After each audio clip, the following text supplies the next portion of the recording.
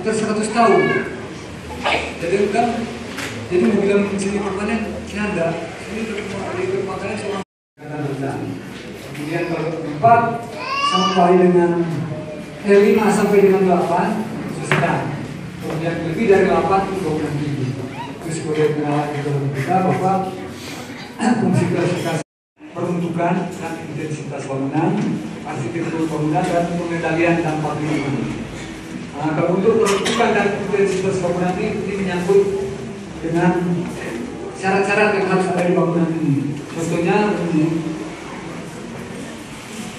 Bapak ini, kalian ada ventilasi, biasanya kalau dinas perumahan pemukiman itu, dan juga tim teknis, di dalam aku bangunan dulu, entah ini, orang nggak merekomendasikan kalau tidak dia masuk dari samping. Tidak masalah yang penting harus ada sinar matahari yang masuk. Dan juga harus ada ventilasi. Jadi itu yang sangat diutamakan dalam peraturan daerah bangunan gedung ini. Peraturan daerah tentang bangunan gedung.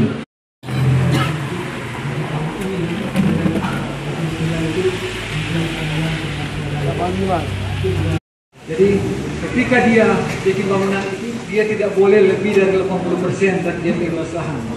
Jadi kalau dia ada luas tanah kurang lebih 100 meter,